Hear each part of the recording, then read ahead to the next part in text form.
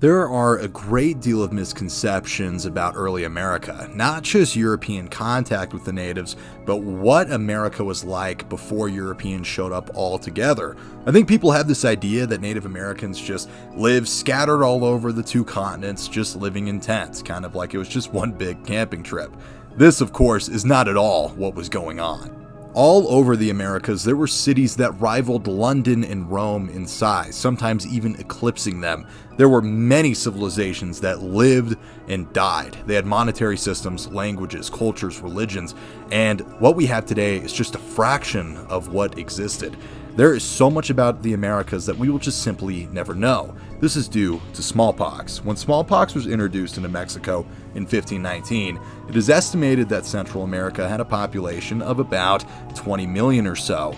By the 1570s, this had gone all the way down to just a little over a million.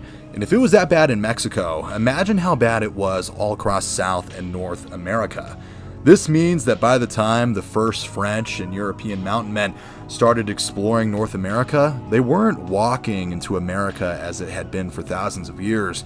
They were walking into a desolate wasteland, a place where there had once been many civilizations, but now there was really nothing left but a few remnants.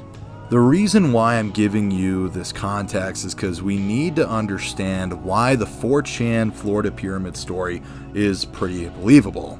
Now, what is the 4chan Florida Pyramid story? Well, let's go back to 2019 to 4chan's wonderful K board.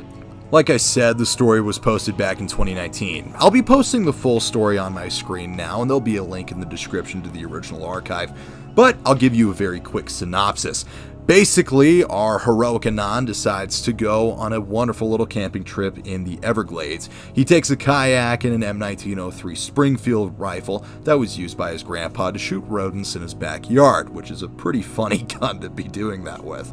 Anyway, while he was kayak- kayaking to various points, he realized that he was being pursued by a pack of giant wolves, which is quite terrifying, and we'll get to them in a minute.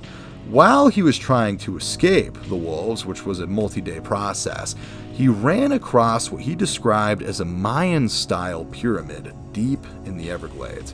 He said as he approached it, he realized there was a large screaming noise coming from the inside of it, and that there was a big open top. He didn't describe it as being anything too big, but he did say it was distinctly Mayan in appearance. He continued to run away. He actually ended up shooting one of the wolves and it went off to die, which of course leads me to believe it was an actual flesh and blood creature. He ran out of ammo for his rifle, dropped it in the Everglades, and by the skin of his teeth, made it home. It is a great story. It's much better read than said, so please, again, go ahead and read the story. Now, there are obviously some paranormal aspects of the story. One is the screaming that is coming with inside the pyramid. Now, he insists that this was a very real thing. This was not a product of his admitted dehydration or his paranoia. He is he seems pretty convinced that this was a real thing that really happened. Now, of course, it's easy for us to say sitting behind our computer monitors that of course that's impossible, that would never happen.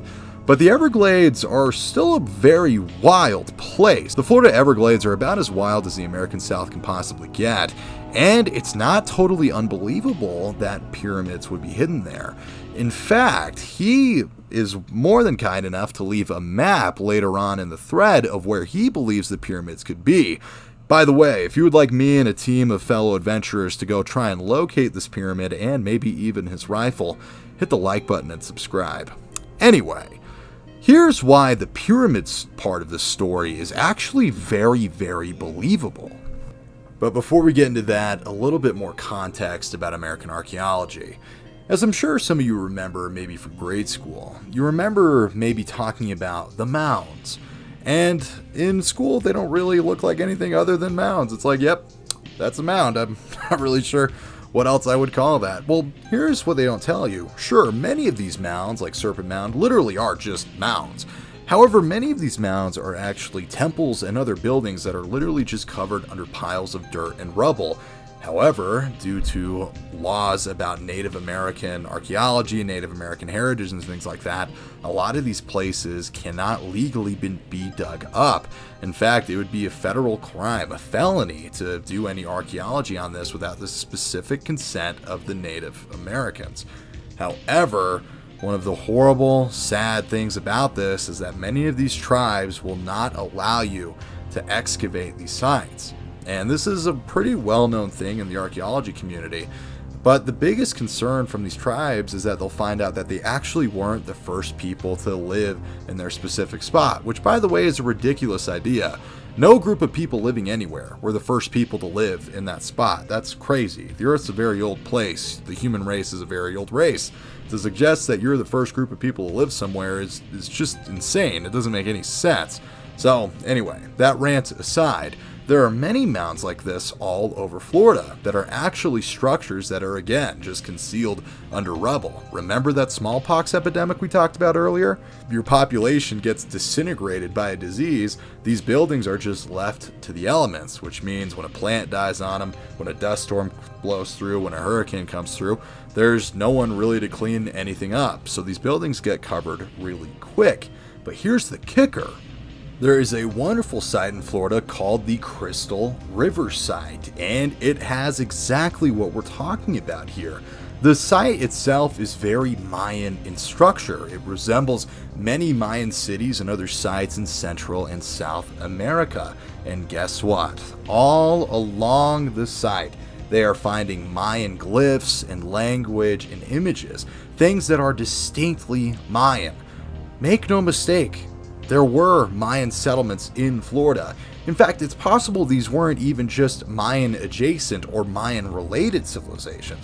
We're talking about a place that could have just been straight up a settlement, a colony, an outpost for the Mayans. And if you look at the geography, it makes sense. We know that traveling by boat is easier than traveling by land.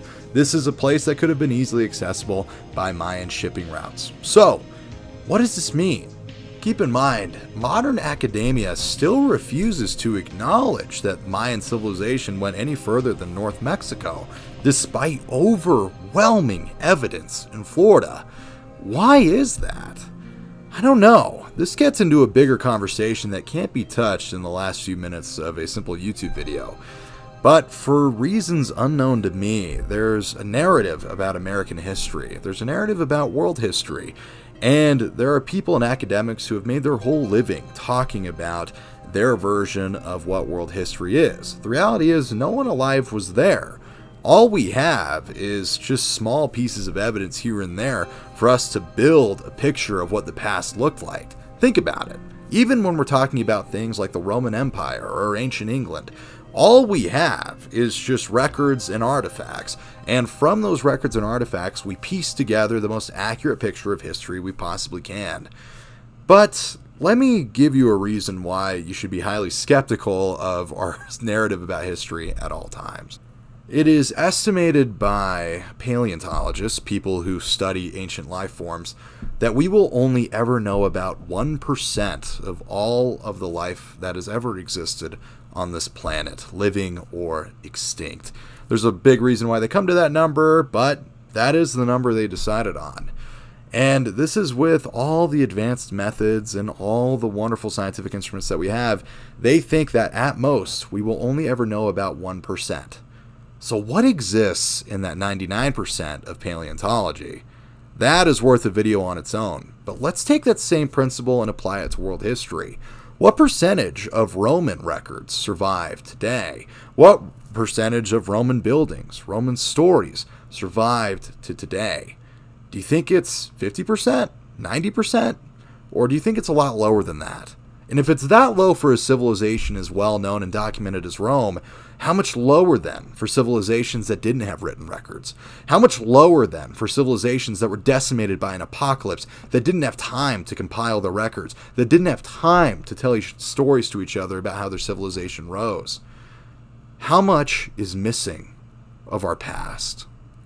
And I'll leave you with that. Thank you guys so much for watching. If you enjoyed the content, please subscribe. And if you would like to see me and a brave team of adventurers head into the Florida Everglades one day to try and find that rifle and, more importantly, find that pyramid, please leave a like and subscribe. If you want to support the channel directly, go into the description and buy a sticker from Civilian Expedition Outfitters. Have a wonderful day, guys. Hope to catch you in the next one.